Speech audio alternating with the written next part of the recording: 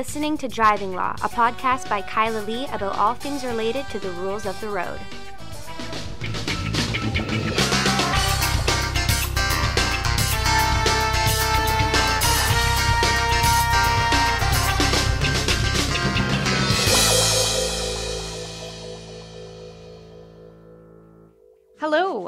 Welcome to another episode of the Driving Law Podcast. I am Kyla Lee, and with me, as usual, is Paul Doroshenko. Hello, how are you doing? I'm well. I'm good. This is our election special, special, special election special podcast. Sure. I mean, I think I am suffering from election fatigue. Me too. It's a hard place for me to be in, though, because although I'm completely fatigued by this election, I am in the midst of just beginning my campaign for my own election. So people are probably just tired of elections, Yeah. and now you're running And now I'm like, vote for me? bencher of the Law Society of British Columbia for the Vancouver region. Yeah, and I think I'm going to take some like campaigning cues from um, all of the political parties. I'm going to post pictures of my parents on my camp venture campaign plane. Yeah, Uh, good. Will you have two airplanes or one? Uh, just one. I don't Okay. have that big of an entourage. Now, do we have any um, any photographs of you doing anything really, really Racist? inappropriate or racist in your No. in your history? No. Okay. No. Um, and there is a. Are you an American citizen? I wish. Are you or have you ever been an American citizen? No, but I did, I think, one very drunken 4th of July many, many years ago, find an American in a bar in Vancouver, and I was dressed in like my head to toe. This was in the Obama days, okay? In my head to toe, like America outfit, and begged them to marry me. Well, um, those would have been in your days back when you were a drinker. yes. And. You're not anymore. No. And because you are no longer a drinker, uh, I would be comfortable in voting for you to be bencher of the Law Society. In fact, I, you know, You would have done it even if I still could drink. that's true. You're good, you're balanced, you're smart, and uh, youthful and energetic. Yes. So um, all those things. all the lawyers who are out there, you know, the biggest problem I think is uh, apathy. People don't vote. Yeah. Um, and statistically, if you look at it, um, last year in the Bencher by election, it was an 18% turnout of eligible awful. voters. The by election before that, the first time I ran, there was a 15% turnout. And the last general election two years ago, the voter turnout was 28% of This all is eligible really voters. not impressive. We're talking No. about lawyers Lawyers. Being engaged in the democratic process of their own law society. I mean, come on, get out there and vote. It's not even like voting in the federal election where you have to Go out in I the rain.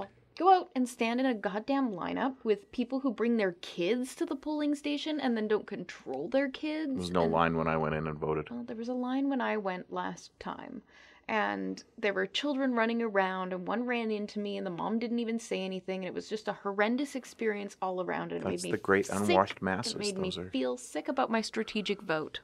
those are humans out there just being humans Yeah, maybe. and exercising their franchise, going out there and voting. And you shouldn't be so negative about it, I'm particularly when negative about it. you are running. Bad parenting. You are running. Yeah, I know. You so you have a different issue. It's not the election. It's not the voting. I wouldn't have you to are asking that. you're asking for people to cast their ballot for you kyla so And the- you know what? let's They get can- positive about it what happens Yes, if they me- have kids Let Hmm? me tell you the positives. If they have children, if you have a very busy practice, if you work a really ridiculous schedule, or maybe you're on the road a lot because your your lawyering takes you from town to town throughout British Columbia or Canada. You're looking at your fingernails. You're already tuned out. Um, the uh, if any of those things apply to you, it does not matter because unlike the federal election, you have a whole two weeks, November 1st to November 15th, during which you can vote, and you can vote on the internet at your own convenience. You can vote while you're on the toilet. so young You lawyers have no excuse, Law young Society lawyers members. young lawyers get out there and vote because it is important and if you have never thought about how important it is take a look at ontario Yeah. because um, you know the law society can do a lot of damage if you get some people in there who are um, problematic. Yes. Um, You I don't, want to. You don't want a uh, slate of candidates to end up with. And, I- and I don't see that happening in BC with say, the I looked with at the, the, list of the candidates. The people, the people that are running against me in Vancouver County are either already benchers, um, which makes it harder for me. So I really do need your votes. If you're listening, it matters. Your vote counts. When only 28% of lawyers, eligible lawyers in the province, vote, and you're voting in 11 candidates, and there are uh, uh, 17 running in that county where I'm running, your vote really does matter. Absolutely. And one or two votes does make a difference. Well, and the other thing is, it is uh, it's not the same. You know, it's not like a federal election where you you vote for the um, candidate that doesn't have a chance in some cases because you think you're doing the ethical thing. In this case, every ballot actually does matter. yeah, and they're weighted ballots. They're too. weighted ballots. So, you can have your whole electoral reform dreams come true in the Law Society general election. and demonstrate for the rest of Canada how well it works. Yeah, sure, if that's something you're into. Now, the other thing I will say about I'm going to remind people next time on the Driving Law podcast and next time until the election to get out and vote for Kyla Lee. In our election special, okay, no problem, but I'm going to do it again. Go ahead. I'm going to remind them I'm begging for your vote. What do you want? What issues are important to you? Tell me. I have an opinion on pretty much like everything except the pipeline. A well developed opinion on probably 40% of things and an opinion on everything. Yeah, exactly. No. Except the pipeline. Literally no opinion on that. I have a full on pipeline opinion. I know you do. I just don't have time to come up with a pipeline opinion. It's it's an opinion I'd have to have well developed, and that's a lot of research. Well, my opinion is that I, in many areas of um, concern, I defer to experts. Except you have conflicting experts, Paul. How could you be a judge in this circumstance? Defer to the experts? What if you have conflicting experts? Well, I wouldn't take the expert just because their um, use of English is better than the other expert, or I wouldn't reject an expert just because they didn't use the uh, customary plurals or something like that. Mhm. Um, the um, and this is and why many we people need probably know what I'm referring to. diversity in I know. the law society. I know, and you're Métis, so we should I'm have Métis, a. I'm a a woman. I'm a younger lawyer. you know what the the, the female issue in the in the law society might be an issue, but like on the bench, it's a 50-50 split. In fact, if you look at the retention numbers for the Law Society of British Columbia, oh, for retention for of members, yeah, of that's a big problem. Um, and you look at people who are in their first year uh, to five years of practice, women outnumber men. Once you get to the 15 year mark, that turns around. And Women the- are smart enough to quit. No. there is a reason that women are leaving the profession in droves. There's many reasons, actually. Some of them have to do with not being able to deal with the demands of, uh, of a practice while they have the demands of everything that women are expected to do in the home, but lots has to do with uh, difficulties that women face in this profession. I mean, I've had my own experiences. A lawyer who shall not be named said the most sexist thing imaginable to me in the hallway of a courthouse in front of a You could imagine much more sexist things than that. Yeah, okay, it well, was it was it was it was bad. bad and stupid and deserved an apology. Yeah, and when I called him But out wasn't. on it, he doubled down on it and repeated the sexist comment. But he's not a member face. anymore, so he's gone. He's a retired member. And that's the thing. All lawyers. He's a retired member and he has a vote, but he's voting in Victoria County, and their hmm. candidate, Pinder Cheema, was acclaimed, so he can't vote against me. there you go. Um, listening. But the uh, my point is that they all die, Kyla. So if you have any enemies out there in the world, if there's a judges or or uh, lawyers or whoever, if somebody hates me and I'm their enemy, don't worry. Eventually, I'll die. Or they'll die. Well, we'll all die. So it's the great equalizer. There's no proof of that yet. There, there's plenty of proof of that yet. So I guess you're in the climate no change denial category. You'll die, and there's no proof I'll die. There's, uh, I'm confident. Of, I'm not dead I'm- yet. I'm confident of both of those. Nobody's proved that I'm dead. Yeah, well, okay. You're trolling. You're a troll yeah, I'm now. trolling I now. see you're I'm an trolling my troll. own podcast. Okay, um, but On to uh, driving law. Should on to driving law. And as uh, we pulled up to our uh, recording studio this evening, it was dark it was rainy. It was hard to see the lines on the road. It was hard to see the lights of other cars because the rain on the windshield made them all smear. Kind of guessing, guessing where you Yeah. are on the road as And, you're like, driving. when you're making a turn, are you sure there's not a pedestrian there? Not a hundred percent. Oh, I know, and especially if the pedestrian's dressed in a darker color or they're behind the pillar at some point, and, And then they're out from the pillar. We all love our dark fall colors. I know. Well, of course, they look great. Yeah. Um, so uh, What does this mean? What is this awful driving condition weather that we're stuck with now, basically until spring? What does that mean? Well, I mean, typically, you and I see the spike in hit and runs, Mm-hmm. and uh, the spike in hit and runs happen for lots of reasons. Um, the you know, but it really is weather related that the accidents occur, and when the accidents occur, people are so shocked at the fact that it happened. Um, and then for the myriad of other reasons, they often don't stop. Yes. Because either they're impaired, or they're panicked, or they're prohibited, or they think they might be impaired even though they're not. They had a cannabis edible the day before, and they're worried there's still THC in their system. Hundreds of reasons. They're driving the vehicle they're not supposed to be driving. They're somewhere where they're not supposed to be at the time. Or they're supposed to be driving the vehicle, but they don't understand how it's going to impact their mother's insurance, so they take off. Don't worry, it'll only impact you now. Um, so, for all sorts of reasons, people leave the scene of accidents, and um, the um, so we end up with lots of hit and run cases at this time of the year, and they usually start with investigations. And so, I think for the purpose of discussing the spike in it today, we should probably talk about what you know. If you've stumbled upon this podcast and you've just If Left the scene of an a hit and accident. um, the um, you know take a deep breath and uh, you're going to have to speak to a lawyer and you're going to have to speak to a lawyer right away because the there's quite a bit that a lawyer can do for you now, does it make a difference, Paul? And, and I know you're like basically an expert in handling hit and run investigations. Does it make a difference what you hit?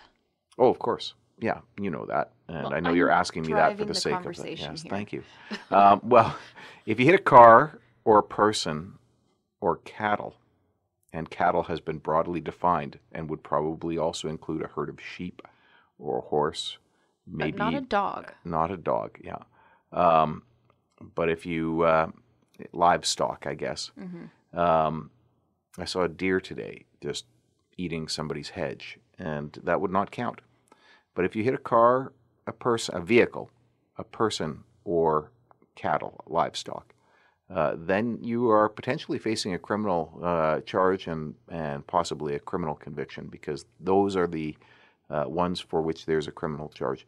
If you do property damage, if you you know take out somebody's sapling or a fence and you leave the scene, you're not facing a criminal charge. Uh, you're facing potentially a motor vehicle act charge uh, if you don't take steps to contact the owner and figure out you know who you need to notify. Uh, but you don't have to al- uh, also sit there all day uh, until somebody comes along and says, "That's my sapling." Sit there next to a city of Vancouver tree and go, well, eventually there'll be a bylaw officer just happening upon here. So people take out posts and things like that, and they really don't know what to do in those circumstances. When I was learning to drive, I guess I still had my N, and I was in my uncle's driveway. I'd been hanging out with my cousin that afternoon, and I had to go home and backed my car up to try and get out. I took out his water spout, and I was like, "Oh shit! I don't know what to do." So I just drove away, and as I drove away, I saw him in the window. He totally saw me. Thankfully, he didn't call the police because I was surprised he didn't chase it after you with a pitchfork. no, he just Knowing your mocked me. family. Yeah, right. Yeah, no, he just teased me. In any event, if you um, do commit a hit and run, you should know that uh, anything you say to the police is evidence. so this would be a situation where you would want to use your trademarked line. Lawyer told me not to talk to you. But before you even get to the point of having to talk to the police, your best bet is to talk to a lawyer right away. And the reason for that is the one most powerful thing I think we have as a lawyer, and that is that um, anything that we say to the police is not going to be used as evidence against you. So Can't we can we can speak to the police. Remember, lawyers, criminal defense lawyers are the only people who are written into the Charter of Rights. We're the we are the lawyers in the Constitution. You are entitled to have. Um, but um, by virtue of of our special relationship we have as lawyers to our clients, anything that you say to us uh, is is privileged and cannot be used against you. We can never be compelled to be a witness against you, and therefore we can talk to the police about the incident and and engage with them and have a discussion, often to resolve the thing long before you ever have to face the police, long before you ever get into the circumstance of having to sit there and say, "Lawyer told me not to talk to you." Now, does your approach as a lawyer dealing with these differ if you are um, dealing with a case involving a cattle or a person or another vehicle versus property damage? Oh yeah, for sure. I mean, if there's somebody who's injured, I mean, there's there's sometimes there's the hit and run where the person has been bumped with a mirror, Yeah. and the driver's arguably has no idea that he hit somebody. And there's other times where people have hit uh, a person, a vehicle has hit a person, and the, the driver doesn't know they've hit a person. That happens. Uh, but obviously, anytime that there's an injury, There are also times, though, where you have, you know, an imprint of a butt and a, a chunk of hair and scalp in your windshield. Sure, I know. There are those occasions, and the person continues tooling down the road.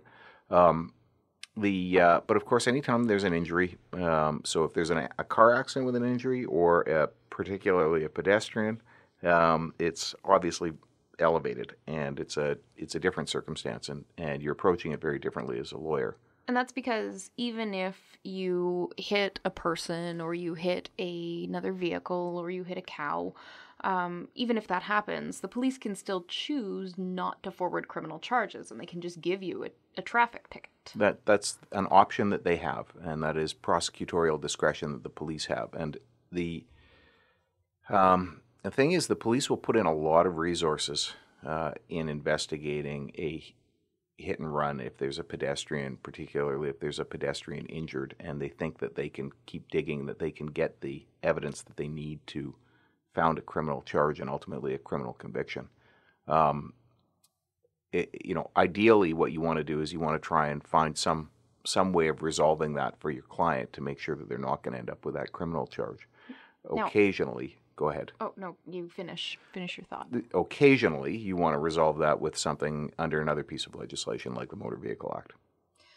Now, I was watching an episode of Suits, and this was the last time I watched Suits because I ended up screaming at the TV and throwing things. Um, and Mike, the fake lawyer in the show, uh, is representing a client who's charged with a hit and run.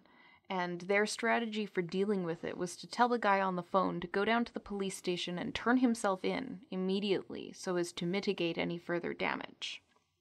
And that would be foolhardy. um, I, I can tell you that there's been one time I had a client who wanted to go in and provide a statement and desperately wanted to go in and provide a statement.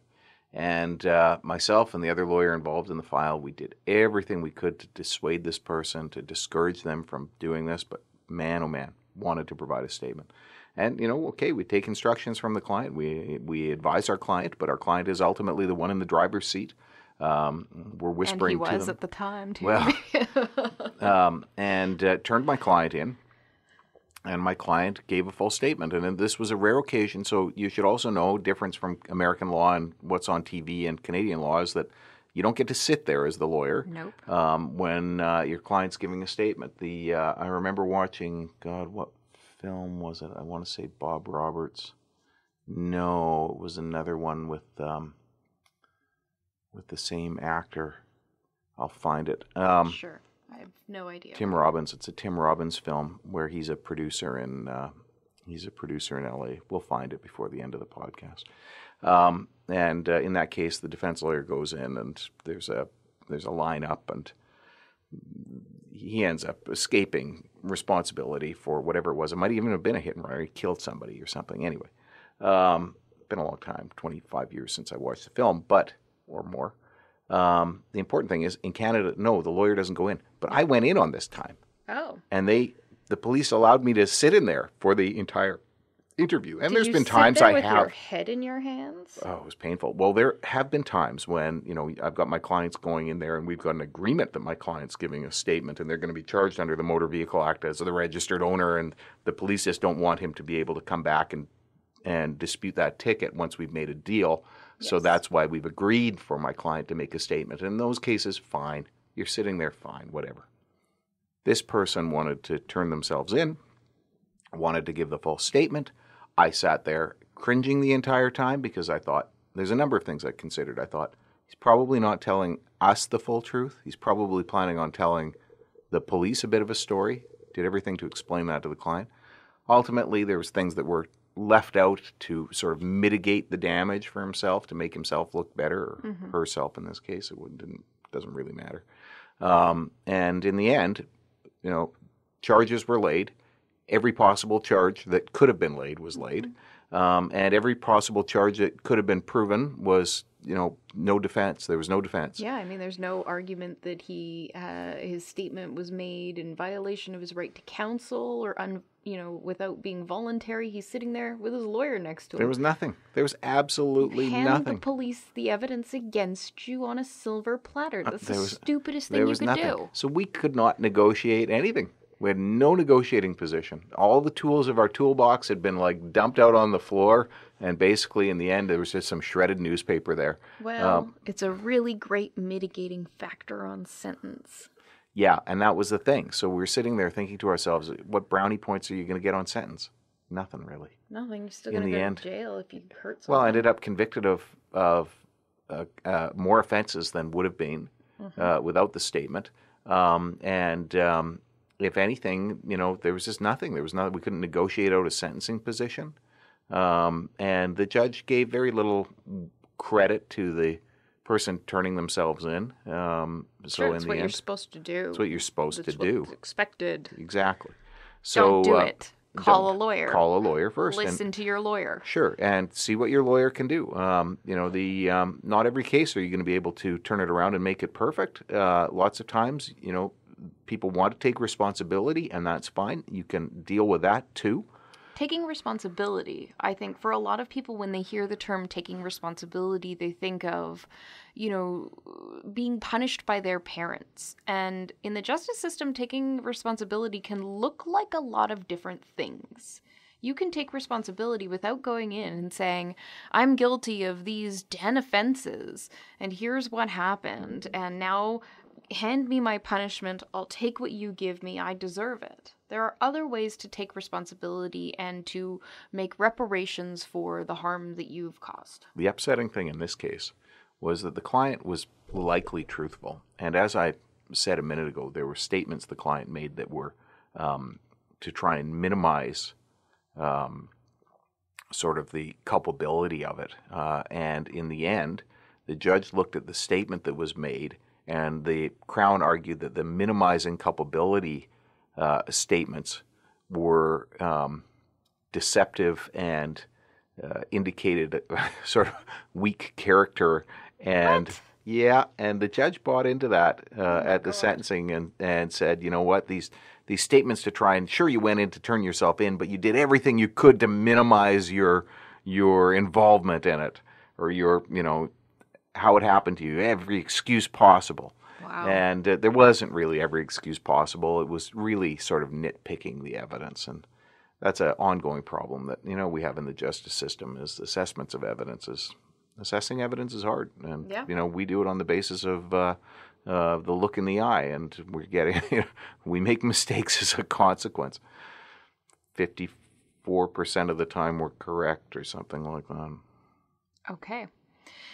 All right, so um, back to our hypothetical listener who's just committed a hit and run. Step one, call the police. Or what do you friend. do with your car? Well, the other thing is don't. Um, first of all, don't go running and hiding it.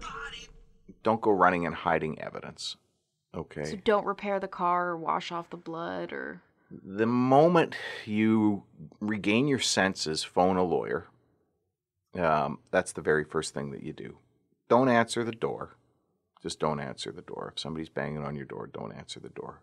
Phone a lawyer. Okay. Um, They're not going to get a warrant to arrest you that quickly. no. Um, the next day, uh, don't talk to your family or friends because they can be witnesses. Uh, I've had occasions where people talk to somebody who was connected to the police officer who was investigated into it. Oh, I know that officer.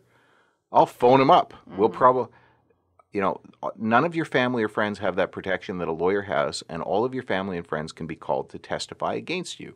Remember, if you look at the case right now, not driving law related, but the murder of Kieran Dhesi, uh, her alleged murderer just granted bail today. His mother also charged as an accessory after the fact because of her alleged involvement in helping him cover up what he'd done. So, aside from the fact that all your family and friends, anybody you talk to, um, can be witnesses against you, not only that, they can all end up being charged as an accessory to the offense that you committed There for also, hiding it. And there are also charges that they can get if they give false statements in the course of dealing, for example, with ICBC. Oh, I was driving my car that night, or oh, my car got stolen. That's a pretty common one. Um, people want to uh, say their car was stolen. Obviously, that's a, one of the big lies that uh, unfolds very quickly every time. Never works. I guarantee you, if you committed a hit and run and you think you're going to report your car stolen, the police, as soon as there's a hit and run, they're looking for stolen car reports and they're matching them up Oh, right away. right away. Right away. That's the as soon as you report that car stolen, they know that you've lied. Um, the uh, the hit and run driver who's driving in a stolen car is probably one out of a hundred hit and runs. So on pure odds basis, they know that you're the one who was likely the driver at that point. And also Proving it is a different thing, though. Yes. Proving it is a different thing. The police can know a lot, Yeah. uh, but not be able to prove it. So they may be, in their own minds, 100% certain you were the driver. Uh, but that doesn't mean that they've got the evidence to prove that you were the driver, which is, again, back to where your lawyer's going to come in and I was talking to a hit and run detective very recently about you. talking about yeah, me. about you. They Oh, asked after well, I, you. I taught the class at one point, was yeah. it? Well, it was. Uh, you know, you'll know who it was um, when I tell this story. He asked me, "How's Paul?" I said, "Oh, he's good. You know, it's getting to be that season uh, where you know the weather's dark and Paul gets to do what he loves to do best, which is deal with hit and run investigations. So I guess you're getting excited to hear from him again." And he's like, "Well, the thing about Paul is." He only ever gives us as much as we can already prove, and nothing more. He's very good at sussing out exactly what we can prove, and no more than that, and then giving us that. So he boxes us into a corner, and we know we can't get any more than than that from him. So we're usually able to work something out with him that's favorable to his client. Well, that all comes back to the trademark saying, "Lawyer told me not to talk to you." Um, the when I finally got that and I resolved it and I had worked that out to that point, um, I just found that it was so useful. And hit and run investigations are one of those circumstances. Right. So don't destroy your car. Don't report it stolen. What about Don't go get it repaired. right? Uh, All of that could lead to a potential obstruction charge. or more, or worse. There can be worse. Uh, and there's also charges under the Insurance Motor Vehicle Act, uh, and Mm-hmm. Charges under the Motor Vehicle Act, And and, the fact that you end up with no insurance. What So- about your obligations to ICBC? A lot of people think that if you're involved in an accident, you must report it to ICBC within 24 hours. Not true. Um, but really, you should have Roy on for that part. So, years ago, when I started as an impaired driving lawyer, um, we're talking 20 years ago now, working in, in the Sun Tower. It was a hot office back then, lots of good impaired driving lawyers. But we would meet with our clients and we would talk to them about their administrative driving prohibition. We'd say, oh, well, uh, the bad news is you're going to likely lose your ADP. I always looked at it and thought, I'm going to fight the ADP, but that was what lawyers were telling people at the time. And the good news is, I'll probably beat your criminal charge. And as far as the ICBC part is concerned, you're going to have to go find a civil lawyer. So we'd shuffle them down the hallway, our clients. Uh, we'd defend their criminal charge, we'd defend their ADP. I started defending the ADPs, not a lot of lawyers were doing it. I started defending more ADPs. Most lawyers were saying, forget the ADP, let's focus on the criminal charge. Um, but um, I kept looking at my clients going out the hallway and thinking to myself, I, I, there's nowhere, there's no lawyers who do it. There's nowhere I can send them. There's nobody who wants to do it, and I cannot just leave them in the lurch like this. So I started defending them with um, ICBC and dealing with the ICBC aspect. And I did okay. I got coverage on a number of cases, but I always felt amateurish. And so I, when Roy came along, Roy Ho, I got Roy involved in it. Um, the answer about reporting it to ICBC is talk to your lawyer first. ICBC is not going to find you in breach because you late reported. If they're going to find you in breach for something, it's probably the hit and run. That's an automatic breach. Um, but they, this, there's occasions that they can't find you an automatic breach for the hit and run. Sometimes you don't know what you hit. Mm-hmm. Sometimes you don't know that you hit anything. They're, you know, they still have to put the get together their file. Um, and a lot of people think that ICBC and the police are just going to share all the doc, everything that they've got. That the adjuster from ICBC is phoning up the police officer and they're going, "Yeah, yeah, this is what we're going to do." Uh-uh, they're not talking. So ICBC, there's there's strict limits on the information that they get, um, and uh, don't assume that just because there's uh, police involved in a hit and run investigation that ICBC is going to be able to easily walk away from the insurance contract and leave you on the hook for all the damage. Okay. So uh, if you say something false to ICBC after you've been involved in a hit and run, how does that impact you? Well, that's the other thing. So that's why you don't want to report it to ICBC, and you're better off to let your lawyer report it because we've been through this before as well. And that is there are limits to um, what the statements of your lawyer makes to ICBC limits to how they can be used. And I have been involved in a case where a lawyer uh, made a statement to ICBC, and that lawyer uh, then was involved in uh, defending the individual who had been charged with making false statements, subsequent statements to ICBC in the course of the investigation. And part of the way that they were trying to prove it was based on what the lawyer had initially said, which had been contradicted by other evidence that came out. And their whole strategy was that they were going to use this lawyer's statement. Now, I eventually, when they got me involved, um, managed to persuade the Crown to drop those charges because they couldn't prove anything against the client on the basis of what the lawyer said. And the Crown's position initially was well, if I, you know, if I were uh, a lawyer I, uh, on acting on something like this, I wouldn't give a statement to ICBC unless I was instructed by my client to say that. I said, yes, but you have to account for the possibility that the lawyer was mistaken about certain details in their instructions. And if you don't know how uh, accurately the lawyer understood the information, how can you base a false statement charge by uh, on something that came through the lawyer? Well, it's also like hearsay through the lawyer. Yeah, and then their strategy also involved calling the lawyer to confirm that he was retained and given instructions to report it, and that the that he reported it pursuant to his instructions. To which I uh, uh, responded, "That would all be privileged." yeah, yeah, you cannot compel a lawyer in those circumstances to say anything, which brings us right back to why you have a lawyer in the hit and run investigation. Yes. The film was uh, The Player, 1992, with uh, a Robert Altman film with Tim Robbins and um, Fred Ward and Whoopi Goldberg. Oh, I like And Whoopi. others. Okay. Um, all right. So, if you are listening to this podcast, having freshly committed a hit and run, don't do anything other than lock your door and turn off your phone. And if your friend calls you and says, Oh man, I just did this, say, Don't say anything else to me. Yeah. I don't want to know. Phone a lawyer. And if you are thinking that your friend needs a lawyer for a hit and run, do not phone the lawyer for your friend. No, never do that. Um, and um, Get your friend to call us. Just persuade them. don't start conspiring with your friend to come up with a story. Just talk to the lawyer. Say, t- Just tell your look, friend to call a lawyer. I listened to this great podcast. Call this lawyer. They'll talk to you about it. And then uh, after uh, we've talked to you or your friend or whoever is involved in the hit and run, we will say at the end, by the way, don't forget, the lawyer told me not to talk to you. Mm-hmm. Yep. Okay, moving on from that great hit and run advice that everybody needs to know this rainy, wet, dark time of year where you might accidentally hit something or not realize you hit something. It's hard to see. I got older. I can't see as well as I used to. Yeah, I get it. I hear you. Um, but moving on from that, we did say this was the election special. Election special. so Election special. I, I want to go back to 2008.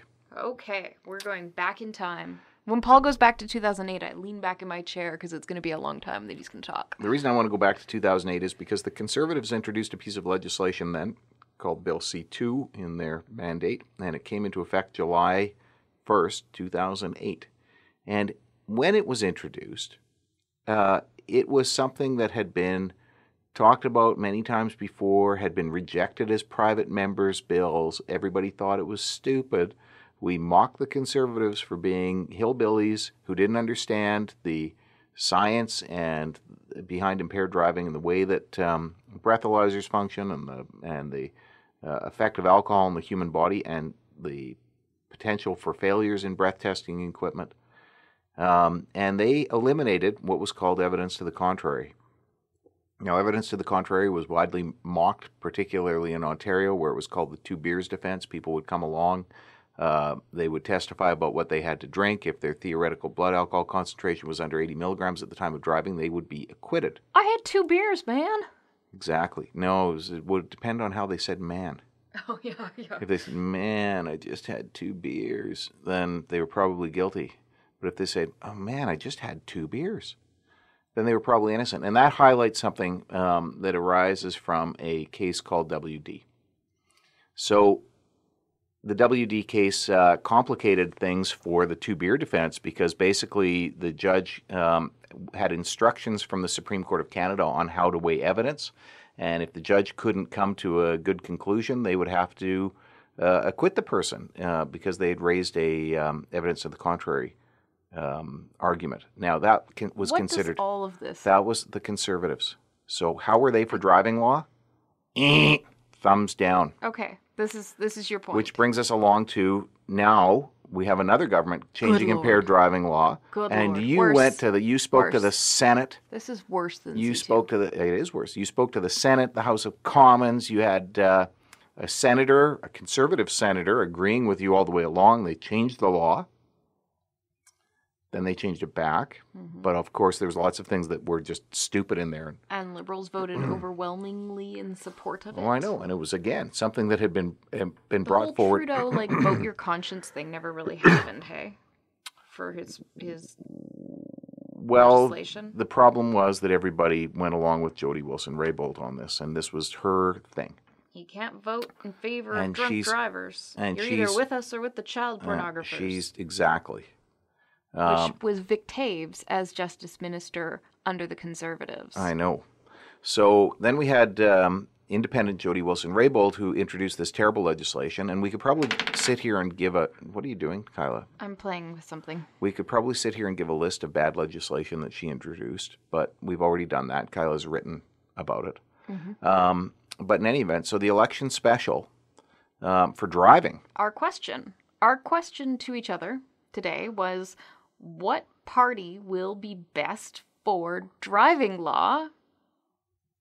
And our answer, Well, so the Green Fuck. Party, the Green Party, no. I No, mean, they're gonna- obviously they're going to be the they're the worst. They could legislate the uh, 50 kilometer an hour speed limit, sure, um, 80 kilometer an hour speed limit on the highways. I mean, the Green Party is going to do things that are aimed at reducing emissions and imposing higher carbon taxes, which is going to disproportionately affect drivers because drivers produce large amounts of emissions and pay more in carbon taxes when they fill up their cars. See, I'm supportive of a carbon tax to reduce people from I'm not saying driving. I'm not saying that I'm not supportive of a carbon tax. What I'm saying is that if you're looking at the interests of drivers, which is, you know, the driving law podcast is about how law affects drivers or driving, um, the interests of drivers are not going to be protected by the Green Party.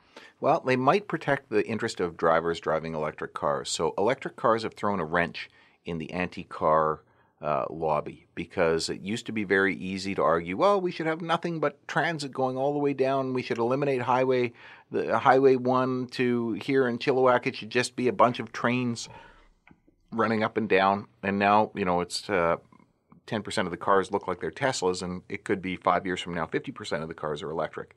Okay. Um, so the Green Party, I think, will still be the worst for drivers when it comes to making it expensive to drive. And they're not going to pass any criminal justice reform or anything like that that's going to help drivers. Now tell me, will the NDP um, repeal the drunk driving laws that were introduced by Jody Wilson-Raybould? What do you think? You know, nobody's ever asked them, but I would I would highly doubt it. And the reason I would highly doubt it is again this fear that politicians have about being perceived to be on the side of impaired drivers. I would say, though, that I do take some comfort in uh, Jagmeet Singh's repeated statements that he is interested in evidence based policy decisions. And there is no evidence to support that any of the cannabis impaired driving measures enacted by Parliament as part of C46 are going to save any lives or cut down on drug impaired driving or even detect people who are impaired by drugs. Oh, but hang on, Kyla. The mm-hmm. federal liberals made that same argument, and in with it, respect to everything except the justice file, they did really rely on evidence-based conclusions over the last four years. But It's we the- know that they've sold drivers down the river. oh, they did for sure. I mean, but again, I, I think you have to separate Jody Wilson-Raybould from the rest of the liberals. Well, she separated herself, so. In the end, she separated herself. Um, But- but, I don't, you know, th- when she got kicked kicked out of the uh, party, and when you know when all that drama happened, it's not like the liberals, the new Justice Minister David Lametti, turned around and said, you know what, we let some pretty shitty things happen under her, and we're about to set that right. Well, he You know, did fix some things like within They're weeks. still in court. I'm up against them in court currently where they're defending those laws. They let the assisted dying case go to the go to uh, decision in court and be found unconstitutional. Now they're not appealing that, thankfully, but still. Well, I mean, that's a good decision, though, right? They've looked at it. They've said, okay, we're not going to appeal this. This was a mistake that we made. Uh, and they, had no choice. But hang on, hang on, hang on, hang on, hang on, hang on, hang on. Well, yeah, I know, but there, there can be reasons for that. So let's stop and think about the decision to not appeal and why you would do it. Okay, you're going to pass a piece of legislation that you know is barely going to pass. And you're looking at it and saying to yourself, you know what, the court's going to fix that one little thing that's going to keep us from passing it. And this is an important thing, assisted dying. So you think that so it could have been strategic. if I'm if I'm successful in my charter challenges to uh, saliva testing and to random breath testing, that as a result of the success in those challenges, I am going to, or the, the government's not going to appeal. They're just going to leave it. Random breath testing. I think they could walk away from that one. I do not. I will. I will bet you on this podcast. This is our second public podcast bet. If you take it, um, I already offered you a thousand dollar bet today, and you wouldn't take it. yeah, that was for an NDP majority. I'm not an idiot. Look, I lost a thousand dollar bet to you already. Okay, I want to collect. I All want right. that money back. All right, a thousand dollars. They won't walk away from it, and they'll appeal it. No, I will not take that bet. I'll bet you a Coke. I'll bet you the Mr. Burns and Smithers uh, bet a Coke. Coke. Um, I think that um, I Any Coke? oh don't start playing lawyer with me. Can of Coke, A, a three hundred and fifty-five milliliter can of Coke, of a Coca-Cola product. Diet Coke. Then No, can I have just a Coca-Cola? no, product? no, no, no. You're So trying to trick me. You're trying to trick me. You're trying to trick me. You're trying to trick me. costs fifty dollars. You're trying to trick me. This is just how you negotiated your wage early on as an articled student. And Damn it. yeah, Okay. I learned my lesson. Fine. A can of Diet Coke from the 7-Eleven. Or wherever I happen to buy it. Maybe one that's rolling around in the trunk of my car. You can't. No, it has to be a newly purchased can of Diet Coke. Whatever. Let's stop. Okay. This is the driving law podcast, not the Coke bet con- podcast. All right. Fine. Don't take the. Yeah, take the bet. Oh, So I already did. don't I don't think the liberals are going to be any good. I don't think the conservatives are going to be any good either. And in fact, work that has been done since Humboldt is being undone by conservatives in this country. We we've seen in Alberta the uh, Jason Kenney walking back the training requirements that they were on the way to impose for professional drivers, so that we didn't see Humboldt like shit happening again. And I think the federal conservatives as well would walk back those types of requirements at the federal level. So you think the federal conservatives are probably the? I mean, we talked about the federal requirements for professional drivers before, Mm-hmm. but you think the federal conservatives will do the same thing, obviously, because Jason Kenney is telling them what to do in any event, which is Stephen Harper and Preston Manning telling them what to do. Yep. So that's what they will do. So that's true. So you could argue that the conservatives are the worst choice in the driving law world And then we have for the protection of the public. the People's Party. Oh, I forgot about them. Yeah, right. Well, on the Bloc, I guess we got to talk about the And the Bloc, Bloc. too. Uh, je ne sais pas. Well, the Bloc- Bloc. The Bloc are, are happy to form a. They'll Uh, do anything. they'll form a they'll form a um, a government, a coalition government with the conservatives or the NDP and the. and you as know. far as whatever they do, as long as it does not hurt the interests of Quebec, they'll go along with it. I have. So I um, don't think they're any good for drivers because I think drivers are just not on their radar. No, I mean people in Quebec. They, they they like to drive. They like to drive fast. They like to drive fast in cars that are you know with lots of rust on them. J'aime beaucoup. I don't think they will do anything They'll do it. nothing. They'll do nothing. Um, but yes, I suppose theoretically the conservatives could be the worst because those professional drivers who are out there on the road who are not properly trained or who could have better Mm-hmm. training that may lead to averting a Humboldt like disaster um, will not have that training. So, So- we have really what we have is the Forget the Greens. Greens are out. Yeah, Greens are out. Liberals are out because they betrayed us. Well, no, no, no. Hang on. That's Jody Wilson's out. She's done. So Liberals are questionable. Jody Wilson is running on her own, so she's out. Yeah. Um, liberals questionable. Yeah. Conservatives out. And the NDP aren't going to do anything for us. I know you're NDP supporter, but they're not going to do anything. for. PPC is the wild card, or are we like what? They- as driving law podcast endorsing the People's Party? Because I'm Oh not on board hang for on, that. Hang on a second, because the People's Party are You know, probably going to. I know are probably going to be looking at raising the speed limits Mm-hmm. wherever they can. So national parks, 120 kilometers an hour, um, if that's what you like as a driver. Um, probably less regulation overall, if that's what you like as a driver. Sure. um, and um, maybe they won't uh, allow driver's license to new immigrants. Um, maybe that's what you also want. I don't know. If that's what you like as a driver, I don't gonna- know. I don't know. I'm just trying to, you know, lay out what I think they would do, because you know, Yeah. so so So I. there you go. But I can't endorse them. No. Um, so I'm not endorsing any party here. look, in the same in the same way that you well, it kind of sounds like you're endorsing the liberals because you're like- not willing to admit that they betrayed us. Well, of course they betrayed us. They betrayed people on all sorts of things. But of course I expect that. Betrayal. That's- they got my strategic vote, and they betrayed me. first past the post, that was the. I, I, the problem is, I don't think it was a betrayal. I think it was just stupidity. I think that a lot of them probably thought they could do that. They can't do it. The NDP blocked it. The Conservatives blocked it. The proposal that was made it was never going to go anywhere. Do so what? it's never going to happen. First past the post. I don't. I don't care about electoral reform. I actually, I might. I. I like it the way it is. Do you? Um, Hmm. I do. Yeah. Uh, you know how I feel about change. I still think that they should. I still think they should have to get into a ring and beat each other up. No. I.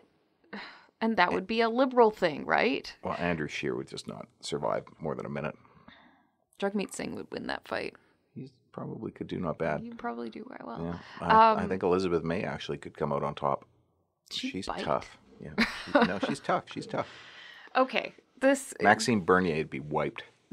this conversation is devolving. The point is that if you're thinking about your interests as a driver when you're going to cast your ballot on Monday, remember that there is really no clear choice for you. And But I, so, I, I still think you can avoid the conservatives because of the safety issue in Humboldt, and yeah, so I think that's probably. And you probably could also, and I'm not encouraging you not to vote Green. Um, you could also probably say, yeah, I'm not going to vote Green because I know that as a driver, it's going to become that much more expensive, uh, and they If will do money's every an and you. they will do everything to d- discourage you from being on the road. and Um, probably don't vote Bloc because the majority of our listeners are in British Columbia, and I'm not sure how many candidates the Bloc is running here. I don't think the Bloc's running any. But Yeah. if I was gonna if I was gonna run for a party, that would be it. Bloc Québécois candidate Yeah. in British Columbia. The only candidate in British Columbia. okay. Bonjour. So, election special. My message to everybody, um, given that we have no clear consensus of who's Well, we're not we're not recommending drivers, anybody, but get out and vote. My message is vote your conscience. My message is get out and vote strategically. Well, Whatever your strate- whatever your strategy happens to be. conscience. Strategy. and just vote. Vote in the federal election, and more importantly, for the lawyers who are listening, yes, More more, importantly? importantly, more importantly, Oh my god. vote in the Law Society of BC election because your vote really does have a huge impact in the Law Society of British Columbia election. Do we have a ridiculous driver of the week? We do have a ridiculous driver of the week. It is a woman in Oakville, Ontario. You can find the video online. I, She I saw it on Globals. caught on dash cam um hanging on to the spoiler on the back of it looks like an old like toyota supra or something um hanging on to that whipping down the highway with roller skates on Maybe rollerblades. maybe but just a sweet time Yep. Um, it's the type of thing that you could only persuade yourself to do after uh, drinking, I would think. yes and I um, would I would tell you that I know people who have done this and I know people done this yes roller skates, rollerblades. Oh, having people hanging off various portions of the vehicle. Oh, yeah. And you will end up with a dangerous driving charge if you are the driver of that vehicle. So don't do it. Don't let someone do it. I'm just amazed. Well, you know, in Edmonton growing up, I remember we used to watch ETS Edmonton Transit System buses every once in a while. People would like hang on the back of the bus when the roads were just solid snow packed and sort of go skating behind it. It looked like a lot of fun when I was a kid. I thought maybe when I get I'm a teenager, I'll try that. Um, I would imagine that that's extremely dangerous when the bus hits the brakes or you let go and hit a post. So don't do it because you will die. But the um, the ridiculous driver of the week is certainly the driver who agrees to do that and the person who is out there doing it. For sure. So that is our message for this week. The election special, special, special. We spoke of two elections. Yes, and if you like our content, uh, you'll find a new episode of Driving Law every Friday. And if you like our content, you can also find all sorts of other content we create online at vancouvercriminallaw.com or uh, give us a phone call, 604 685 8889. That message goes out to you, person who is freshly hit and ran. 604 685 8889. Tune in next week for another episode of Driving Law.